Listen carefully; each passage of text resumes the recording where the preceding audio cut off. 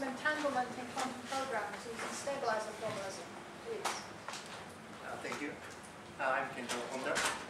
Uh, the purpose of this study is uh, given the quantum program, decide uh, which uh, quantum variables are entangled or not in the output state.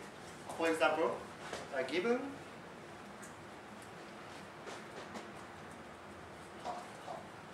okay, and given uh, this program, uh, we want to say uh, Q0 and Q2 are entered, but Q1 and Q3 are singly separated from the other qubits. And in other words, I give this uh, partition. Uh, one way to solve to do so is uh, simulating the execution and finally uh, analyzing the output state. But it needs too much cost, so we give up the exact analysis and uh, uh, modify the purpose into uh, the approximate analysis. I mean, we allow to say only Q1 is a separated. So now the partition tells us um, quantum variables in each set may be entered. Of course, we have a trivial approximation. Um, all qubits may be entered, but it gives uh, non-useful information. So our purpose is um, purpose is uh, a better approximation with efficient computation. So such statistic analysis, static analysis of um, entanglement was uh, studied in previous uh, in several papers. And they are based on two rules. First is after measurement, the measured qubit is separated from the others. So if we found uh, this command, then Q0 is separated from the others. The next one is after application of multiple qubit, multi-qubit gate, then applied qubit may be entered. So if we found U Q0, Q1, then Q0 and Q1 may be entered. However, uh, it is too naive, so it was refined using the fact that a single qubit and control qubit, a control not gate uh, forms forms uni uh, universal uh, gate set, and if control qubit gate control qubit is in z basis or target qubit is in x basis, a control not gate does not create entanglement. Then uh, these rules was used within the framework of type system, abstract interpretation, and Hoare logic to do a static analysis. Our work is based on the work using abstract interpretation, so uh, we will review uh, this work in detail. Uh, abstract interpretation is a novel way to give uh, to give uh, abstract behavior of program. So if we give this program, the output state of variables are them. But if we want to know is only z is positive or not, then we, we abstract the behavior and change the state of variables from integers to a plus, minus, a positive, negative, or both. Then the initial state of x is positive uh, instead of uh, 312.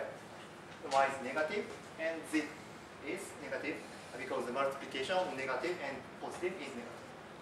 And so on. And finally, we can get z is positive without computing the exact value of z. So this is abstract interpretation. So the target language of uh, Perdrix work and also ours is quantum imperative language. It has if and while.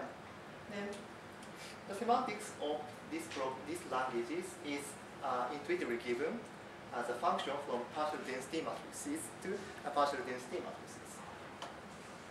Then the Perdrix introduced an abstract domain AQ. It is composed of a pair of a partition and a function.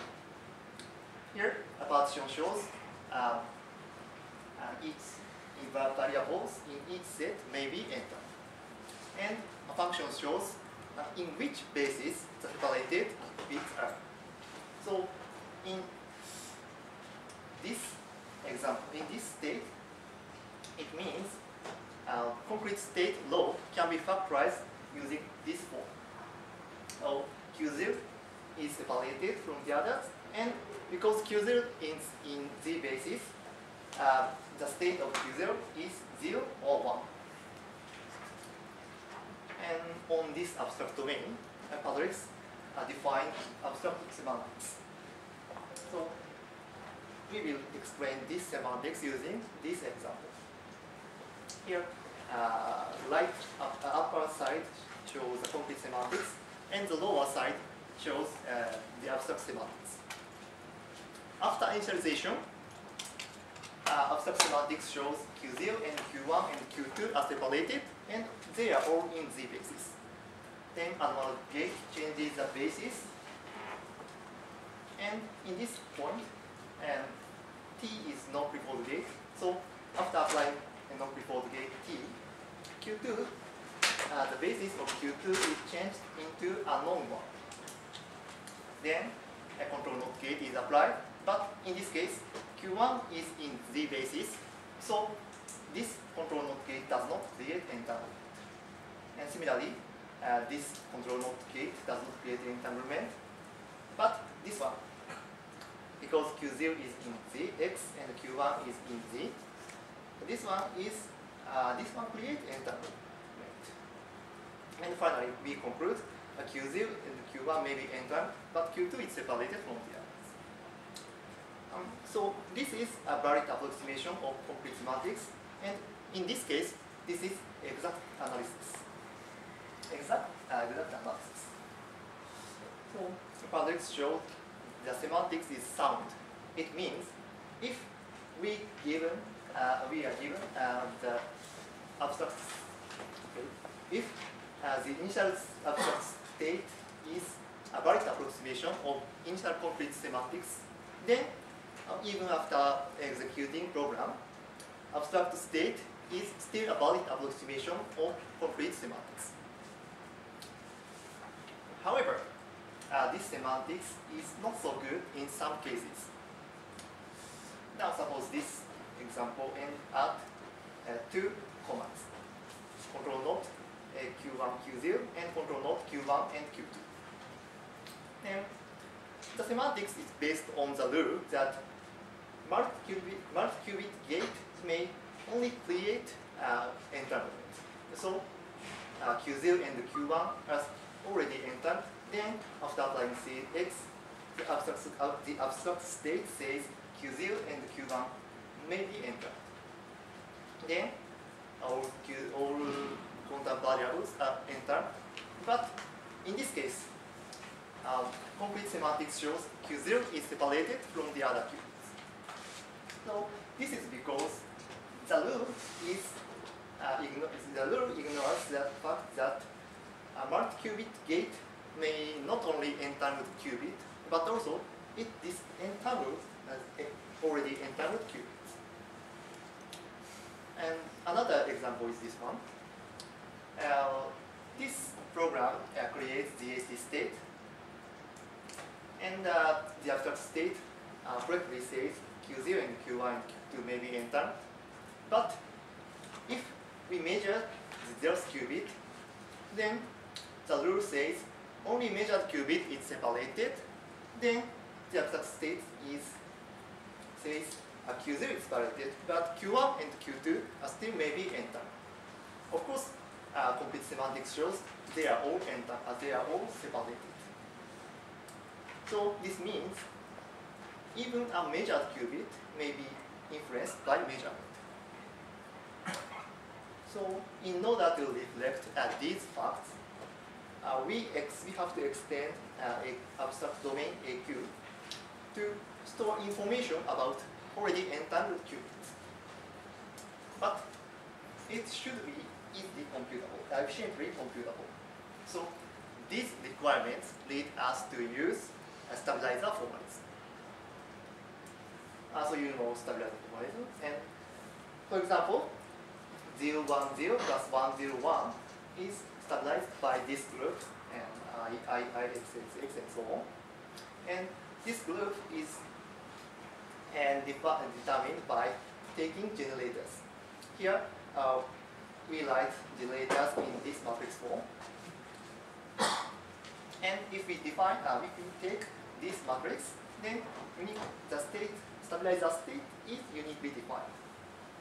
However, in this study, uh, we are interested in not the exact state, but which basis they are in.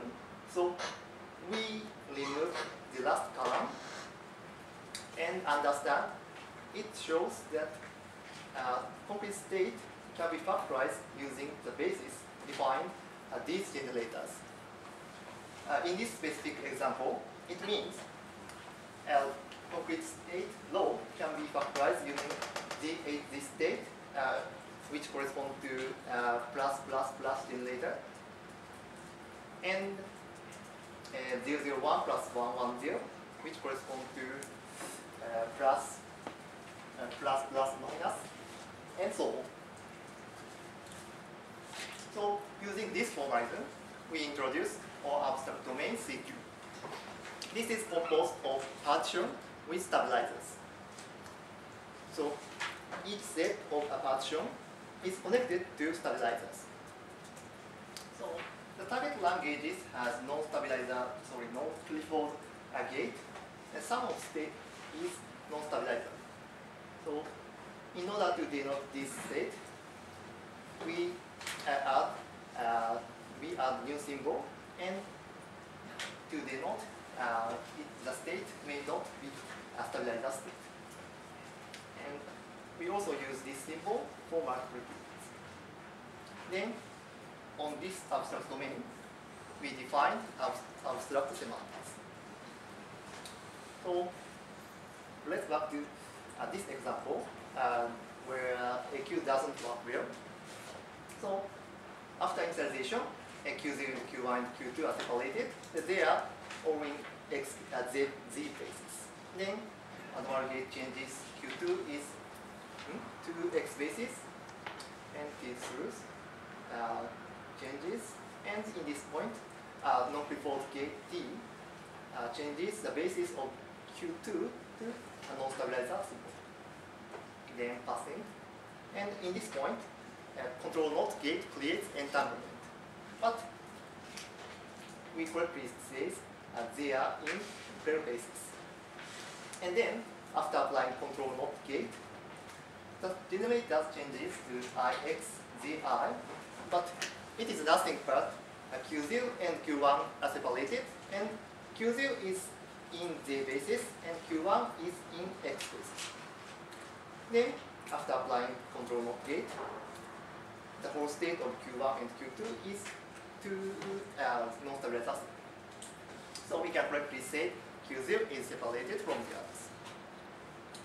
For the other example, uh, creating the state, we can correctly say uh, they are in the basis, and after applying measurement, the generator changes uh, ZII, ZDII, but we can rewrite this generator into this form, and uh, it is nothing but Q0 and Q1 and Q2 are all separated, and in Z basis. So uh, we also prove the soundness of this semantics. So it means our semantics is valid, and as shown in the previous as example, this is a strict improvement of the previous semantics.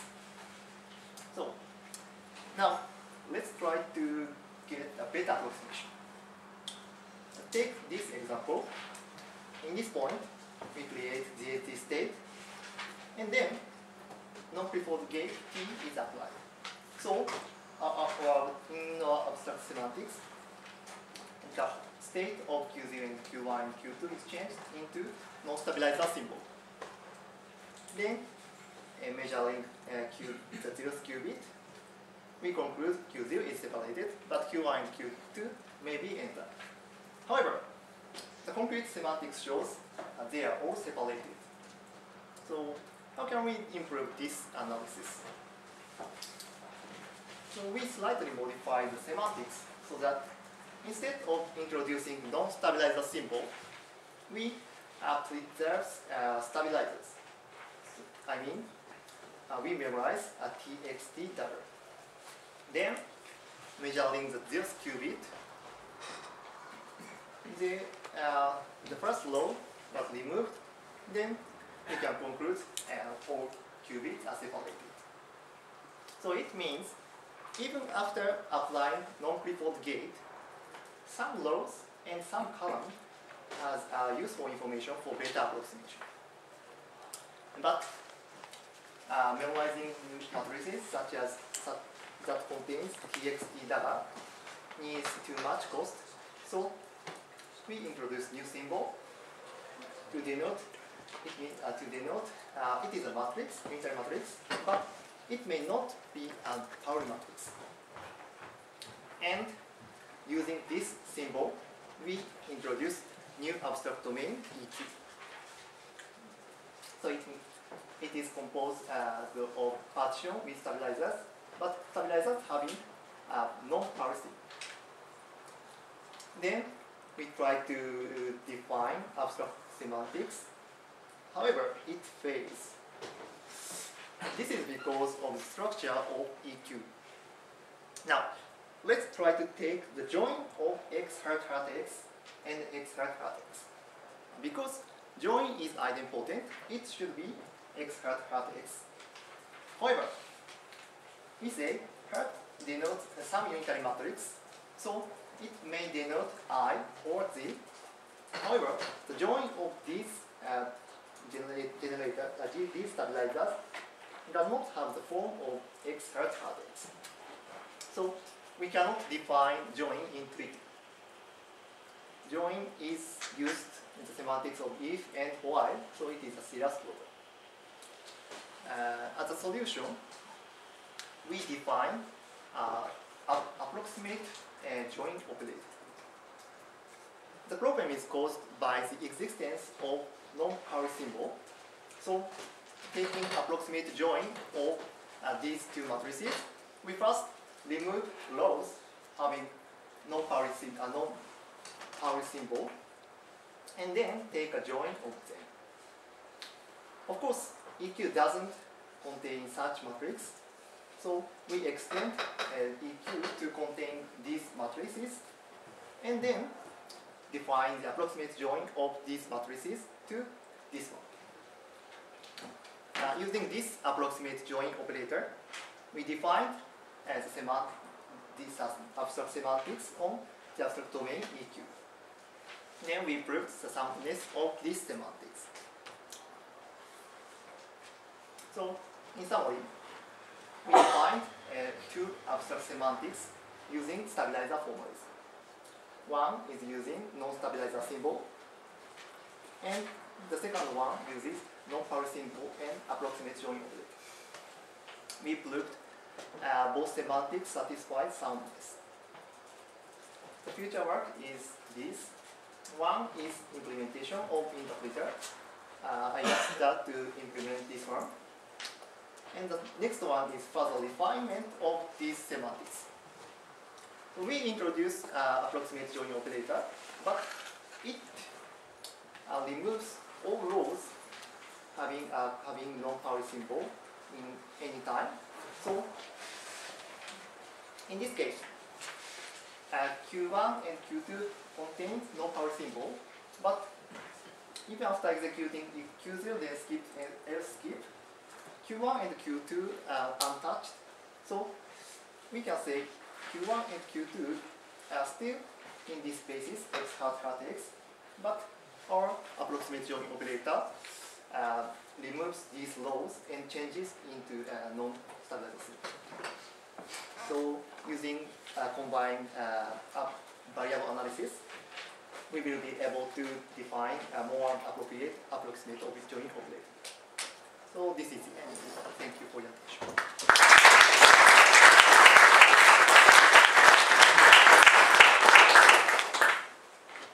We have questions? So, um, Ross? And then so what's the, what's the capacity?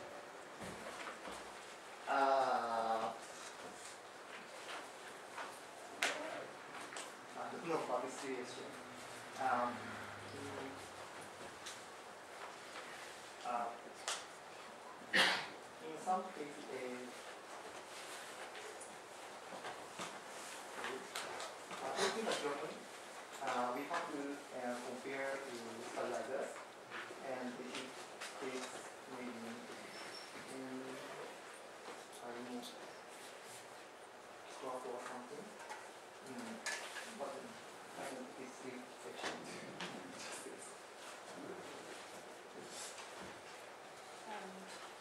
Yeah, hi, this is just a comment really. Um, there's been some work by Paulo Mateus on uh, quantum logic, temporal logic, where you can check whether things are entangled or not entangled. And we, in our own work, we've used this for model checking quantum protocols, and where we use the stabilizer formalism. So, so it sounds quite related. It's not a question, but maybe we can talk at some point. More questions? Anybody? If not, thank